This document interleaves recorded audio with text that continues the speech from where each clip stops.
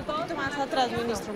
Ministro, vamos a hablar un poco de la importancia que tiene para usted y para todos los maestros del país este foro que se inicia hoy, también los Juegos Deportivos que se están haciendo. Este foro es fundamental. Vemos que en los últimos 14 años este Foro Nacional Educativo se ha consolidado como uno de los eventos más importantes para trabajar por la calidad de la educación en Colombia.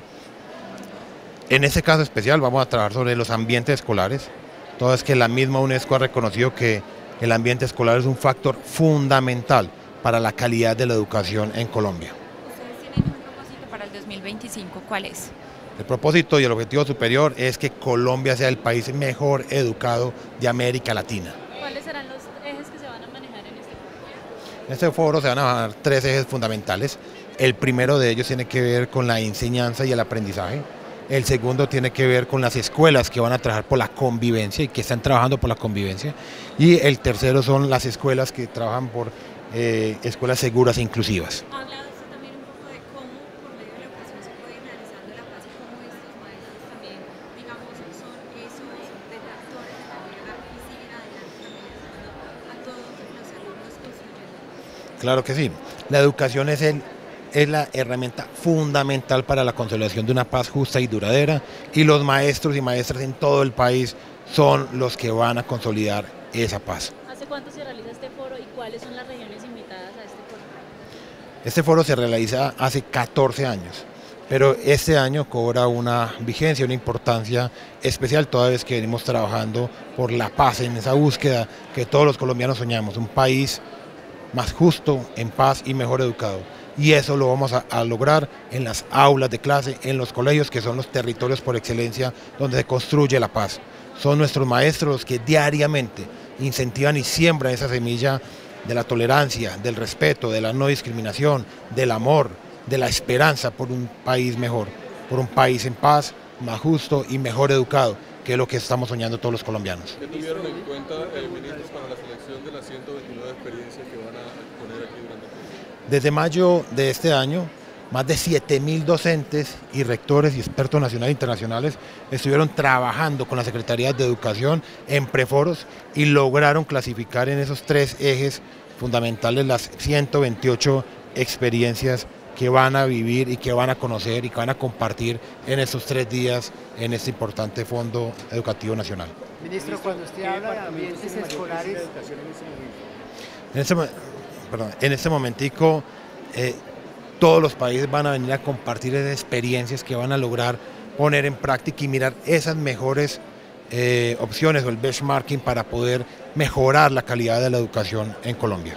ministro, cuando usted habla de ambientes escolares, se refiere a que concretamente con la salud, con la atención de los estudiantes, para que no sean victimizados, para que no se presente lo que sucedió con el Colegio Gimnasio Campestre, ¿tiene que ver algo con eso? Los ambientes de aprendizaje tienen que ver con todas aquellas herramientas que buscan mejorar la convivencia, mejorar los aprendizajes, las eh, prácticas pedagógicas y en general todas aquellas herramientas que ayuden a mejorar la calidad de la educación en Colombia. Pero eso cómo se va a llevar a la práctica. Muchas gracias.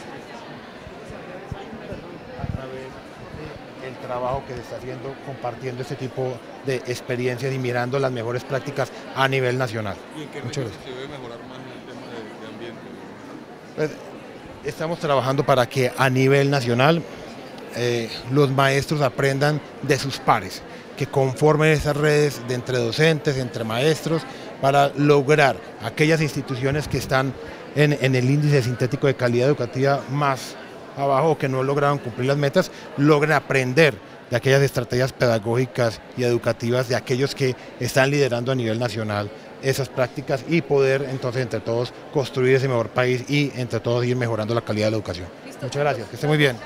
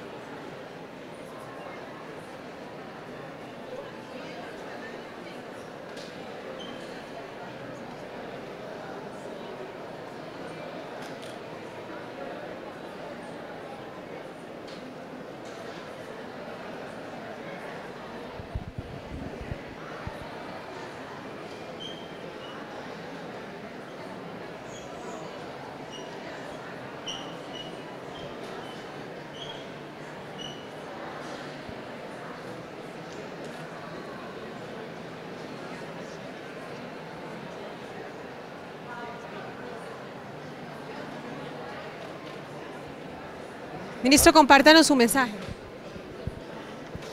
Nuestros maestros y maestras son los verdaderos héroes de Colombia. Con ellos construiremos una nación más justa, en paz y mejor educada. Gracias, maestros de Colombia.